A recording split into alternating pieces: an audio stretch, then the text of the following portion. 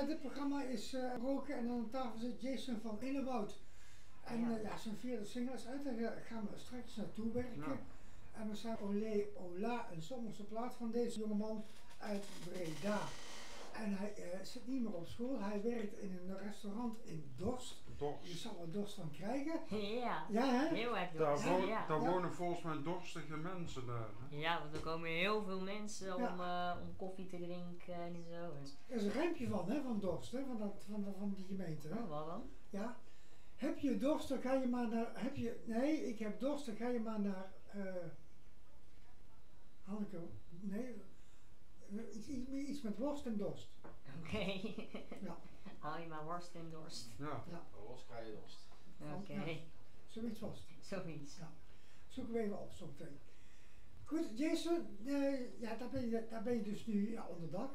Met, eh, met, met, met, met een job, met een baan. Je zingt, heb je daar ook wel eens wat opgetreden in het restaurant? Nee, In deze tijd? nee, ik zou eh, vorig jaar tijdens de kerstmarkt eigenlijk optreden. Oké. Maar die ging door. Nou, ehm, nou, de kerstmarkt ging wel door, maar ik had eh, zo last van mijn keel dat ik gewoon niet kon zingen. Dus toen hebben we het maar nog niet gedaan. Dus Ja. nou, misschien wie weet. Wie weet of we ooit wel eens een Hollandse middag doen op een, op een zondag. Ja. Dus, wie weet, ik weet niet. Er zijn genoeg artiesten in en rondom Breda hè, die zouden kunnen mee aanvullen. Ja hoor, Ja. ja, zeker wel. Nou zing je al, dus vier singles, en dat is al bij elkaar denk vier jaar, vier, vijf jaar. Eh, eh, Nou, 17, 18, 19, al, ja, bijna vier jaar al. Ja. Ja, nou, Ja, Oh. heel lang. ja, bijna vier jaar. ja, het gaat hard hè. Het gaat, e- ja, het gaat Ja. echt heel snel. Hoe kijk je nou terug op die vier jaar? Want ja, god, je begint dan zo met zo'n eerste plaat. Als ik dan eh, eerst Wat is het leven toch mooi luister en als je dan daarna in één seconde luistert. Je ziet wel, je hoort wel een heel groot verschil. En je, je ziet in mijn optredens ook wel een heel groot verschil. Mhm. Ik, ik vind het altijd heel leuk om energie in mijn optredens te voeren. Alleen ik denk dat ik in het begin wel iets te druk was. En ik denk dat het nou wel wat minder is. Een he- hele lichte vorm. Echt een hele, hele lichte vorm. Nou, hele zware. Nou, maar ja, goed. Dat hebben meer mensen, daar hoef jij niet voor te schamen. Ik denk wel dat er altijd wel iets, iets Ja. zit bij iemand, maar dat het nog dat het iets minder is of iets meer. Jason, nou ben je ook eh, ja, een beetje een weldoener, toch? Want je doet ook iets in de maatschappij voor een goed doel, hè? Ja, klopt. Ja, ik, want eh, je, je bent eh, ja, iets met opkikker. ik ben zelf ook langdurig geweest en Ja? daarvoor ben ik ambassadeur van Stichting Opkikker. Die eh, helpen, eh, die geven langdurige kinderen een leuke dag in hun leven met familie en vrienden. Dus eh, daar ben ik ook ambassadeur van. En daar organiseer ik elk jaar een benefiet voor. Nou, dat zou eigenlijk dit jaar in april zou er eentje komen, maar is verzet naar een andere datum, later dit jaar, ergens in november. 15, ze- 15 november. Ja, ja ik, ah, kan, kan ik dat al zeggen? Ja, tuurlijk. Ja, 15 november. We hopen dat het dit keer wel doorgaat. Ik denk het wel. Het is, al, het is een beetje 50-50. Mhm. Ehm, maar eh, er komen hele leuke artiesten zoals Paultje Poets. Kreeg ik nog een herinnering van vorig jaar. Ehm, meer nog meer nu nog meer. Ferry Gordon, Samantha Priya is erbij. Mosterd naar de maaltijd is erbij. En eh, nog een paar nieuwe gezichten. Want eh, er zijn een paar mensen die konden die datum. Maar dat houdt nog heel eventjes geheim. Dus het is, eh, het is jammer dat die mensen niet konden. Maar maar ja, dat, Nou moet je even uitleggen, Jason, de stichting Opkikker. Ja, want dat eh, interesseert me wel een heel klein beetje. Want dat is een speciale stichting die doet iets speciaals voor mensen met een handicap. Ja, die eh, zorgen eh, voor langdurige kinderen. Mhm. Een- dan gaan ze bijvoorbeeld naar een pretpark of dan gaan ze naar een museum of, of naar een dierentuin.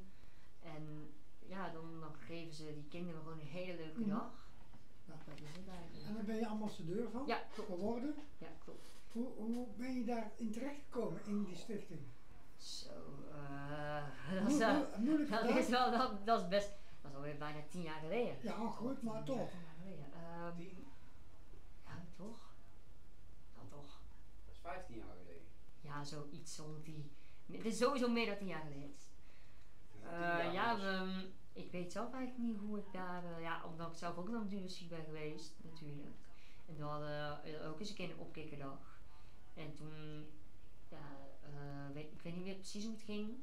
Maar toen ben ik ambassadeur geworden. Mhm. En dan heb je ook bij Stichting Opkikken heb je ook verschillende dagen. Je hebt Hmm. opkikkerdagen, dat is dus voor de mensen met ook een, een- beperking en zo, die een leuke dag krijgen. Maar je hebt ambassadeurendagen. Voor de ambassadeurs heb je, ehm, heb je dagen.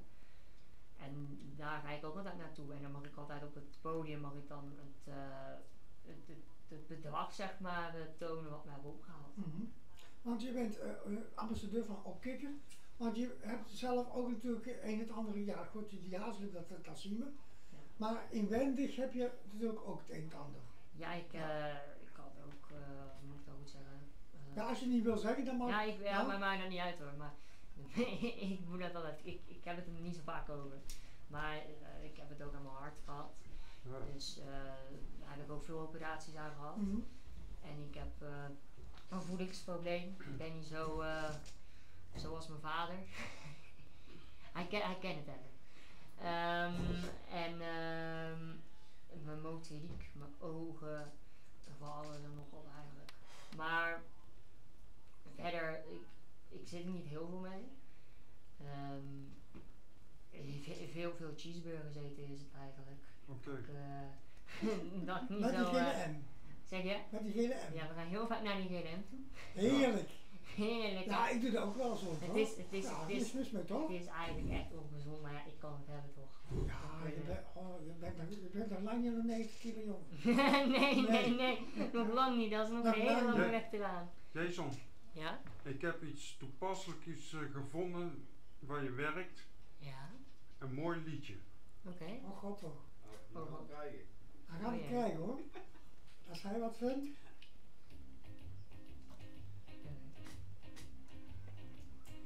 Even.